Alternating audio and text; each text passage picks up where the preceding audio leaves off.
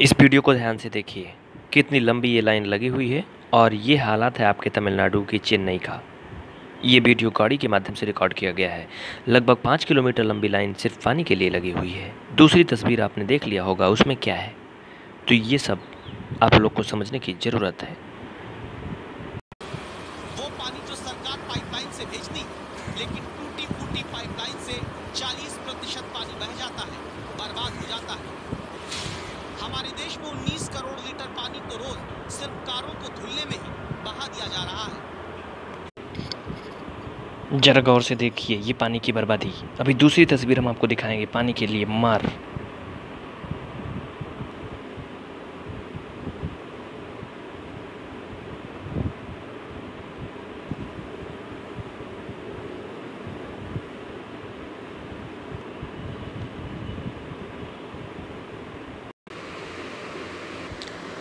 तस्वीरों में कुछ समझ में आया? चौंकिए मत जनाब तीसरा विश्व युद्ध सिर्फ़ पानी के लिए होगा। और उसकी तैयारी आप लोगों के द्वारा, हम के द्वारा तैयार की जा रही है। प्रतिदिन हज़ारों लाखों लीटर पानी बर्बाद हो रहा है। पहली तस्वीर में आपने देखा, प्रयागराज में सप्लाई का जो पानी है, वो 24 घंटे में जितना भी घंटे आता है बारह घंटे पानी आता, लगभग बहता रहता है। दूसरी तस्वीर में आपने देखा तमिलनाडु का हालात। तमिलनाडु का चेन्नई एक ऐसा शहर है जहाँ पर पानी भूमिगत जल पूरी तरह से लगभग समाप्त हो चुका है। 200 फीट गहराई पर पानी मिलता था, अब 2000 फीट नीचे जा चुका है। इतना ही नहीं, आपको कुछ सरकारी संस्थाओं के हम डाटा बता देते हैं। सबसे बड़ी तो बुरी बात यह है कि नीति आयोग द्वारा जारी एक रिपोर्ट के अनुसार, आने वाले समय में 6 परसेंट जी घटेगी, वो भी सिर्फ़ पानी की कमी से। W R I, world resource institute, जिसे बोलते हैं द वर्ल्ड रिसोर्स इंस्टीट्यूट, जो कि संसार के पूरे देशों में अध्ययन करती है, उसके मुताबिक आने वाले सौ सालों में, आने वाले हंड्रेड ईयर में पानी की कोई बूंद नहीं बचेगी धरती पर, पीने वाली पानी की। आपको बता दें कि धरती पर जो पीने वाला पानी है, वो लगभग में मात्र तीन परसेंट है। तीन परसेंट में से दो परसेंट, यानी कि दो दशमलव चार परसेंट पानी ग्लेशियरों और अन्य महत्वपूर्ण स्थानों पर भरा हुआ जिसको आप डायरेक्ट नहीं पी सकते हैं।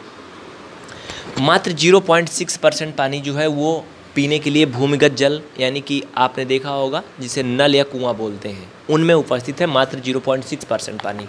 और इसी पानी का उपयोग जो है, इसका अस्सी परसेंट सिंचाई में प्रयोग होता है।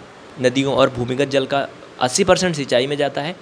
बाकी जो बचा हुआ पानी है, कारों को धुलने में, जानवरों को नहलाने में, इसके अलावा अन्य इधर उधर के कामों में खर्चा होता है। हम आपसे ये नहीं कहते, आप अपना काम मत करिए, अपना काम करिए। लेकिन कुछ ऐसी तस्वीरें भी आपको हमने दिखाया, जहाँ पर 24 घंटे पानी बेवजह बहता रहता है। इसको रोकने की कोशिश करिए जनाब, आपका कर्तव्य है। आपको पता है, भारत व देश में लगभग चार सौ सड़सठ लोग प्रतिदिन दूषित पानी या पानी की कमी से मर रहे हैं।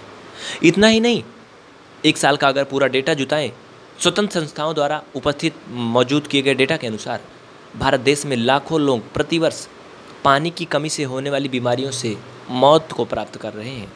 और आगे अगर आपको बता दें तो उज्जैन, महाकाल की नगरी में हज़ारों होटल बंद हो चुके हैं सिर्फ़ पानी की कमी से। अरे कभी यूट्यूब में सर्च करिए जल संकट, वहाँ पे देखिए। इंटरनेट पे सर्च करिए क्या हो रहा है दुनिया में। आपके सामने नल जो लगा हुआ चौबीस घंटे बह रहा है। आप कहते हो हमारा क्या जा रहा है? गाँव में कुछ ऐसे नलकूप हैं, कुछ ऐसे बेवकूफ़ हैं। फ्री की बिजली मिल रही है, फ्री का पानी मिल रहा है। उनका कभी टिल्लू जिसे बोलते हैं, बंद ही नहीं हो रहा है समरसेबल खेत में जा रहा है, चाहे धान का खेत भर गया है, पड़ोसी के यहाँ बह रहा है, लेकिन बंद नहीं करते हैं। ये मैं आपको रियल हालात बता रहा हूँ, लेकिन आप लोग सुधर जाइए। सुधर जाइए। लगभग सत्तर प्रतिशत पानी जो भारत में उपस्थित है, वो प्रदूषित हो चुका है। और इस तरह से कुल 122 देशों में भारत 120वें स्थान पर पहुँच चुका है। और इतना ही नहीं, विश्व में 17 देश जो गंभीर रूप से जल संकट से जूझ रहे हैं उसमें भारत का तेरहवां स्थान है। अगर आप लोग इसी तरह से बर्बाद करते रहेंगे तो यह स्थान पहला भी आपको मिलेगा। और आने वाले कुछ ही सालों में भारत देश में पानी नहीं मिलेगा, दूध और पेट्रोल, डीजल चाहे कहीं मिल ही जाए। और फिर इसके लिए बहुत बड़ा आंदोलन होगा, बहुत बड़ा मार काट होगा, फिर उसका कोई नतीजा नहीं होगा। इसलिए आप लोग सुधर जाएँ और संभल जाएँ। हमारी कोशिश यही है इस वीडियो के माध्यम से कि एक को मैं जगाता हूँ, अगले को आप जगाइए। इस तरह से सभी को जागरूक करते चलें। किसी का हाथ मत पकड़िए। आप किसी को पकड़ नहीं सकते हैं। उनके मन में इसके प्रति जानकारी बिठाएँ इस तरह से कि वो अगले को भी जागरूक करें। घृणा भाव से नहीं, प्यार से समझाएँ। तो मित्रों, इस वीडियो को अपने दोस्तों में भी शेयर करिएगा जिससे कि अगला भी कोई एक जागरूक हो सके। और आप सभी को बहुत बहुत शुक्रिया। अगर किसी को बुरा लगा तो माफ़ करिएगा। लेकिन चलते चलते भारत के सभी राज्यों के जल संकट के जो जिम्मेदार हैं, वो जल विभाग के अधिकारी और कर्मचारी हैं। कृपया वो इस बात को समझें और अपनी नींद से जागें, क्योंकि अधिकारी मस्त जनता त्रस्त ये हर क्षेत्र में हो रहा है। तो मित्रों, माफ़ करिएगा अगर बुरा लगा तो लेकिन इस वीडियो को शेयर ज़रूर करिएगा। बहुत बहुत शुक्रिया आप सभी को। इन्हीं उम्मीदों के साथ कि आप शेयर करेंगे और करिएगा भाई, भूलिएगा मत, ये आपका दायित्व और कर्तव्य दोनों होता है।